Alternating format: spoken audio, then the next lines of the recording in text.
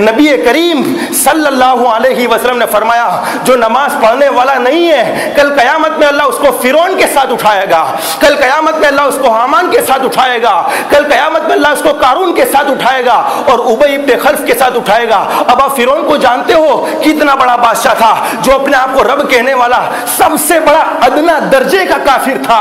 हामान सबसे बड़ा अदना दर्जे का काफिर था, कारून सबसे बड़ा अदना दर्जे का काफिर था और उबई इब्ने खल्फ के बारे में रिवायतों में मौजूद है कि नबी करीम सल्लल्लाहु अलैहि वसल्लम को कत्ल करने के इरादे से गजवे उहद में निकला है। नबी करीम सल्लल्लाहु अलैहि वसल्लम ने फरमाया कि उसने मुझे कत्ल करने का इरादा किया है। साहबा किराम सोच रहे उसको कत्ल कर दिया जाए ताकि नबी तक पहुँच ना सके। लेकिन उबई इब्ने खल्फ नबी करीम सल्लल्लाहु अलैहि वसल्लम के करीब आया है। कत्ल करता नबी ने क्या फरमाया? मैं ही उसको कत्ल करूँगा। नबी करीम सल्लल्लाहु अलैहि वसल्लम ने एक नेजा उसको मारा है।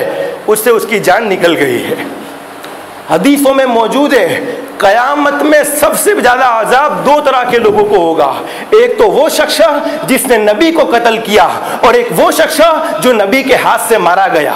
यानी जिसको नबी ने कत्ल किया तो मेरे भाइयों, नमाज़ न पढ़ने वालों, जरा इस बात को अपने दिल से सोचो कि ऐसे शख्स के साथ कल कयामत में खड़ा होना कौन पसंद करेगा, जो नबी को कत्ल करने गया था और जो नबी के हाथ से कत्ल हुआ है।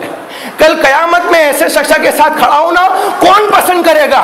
जो नबी को कत्ल करने गया है या और नबी को कत्ल करने गया, लेकिन हुआ है नबी के हाथ से कत्ल। तो मेरे भाइयों, इससे अंदाज़ा लगा लो, नमाज़ का छोड़ना कितना बड़ा गुना है।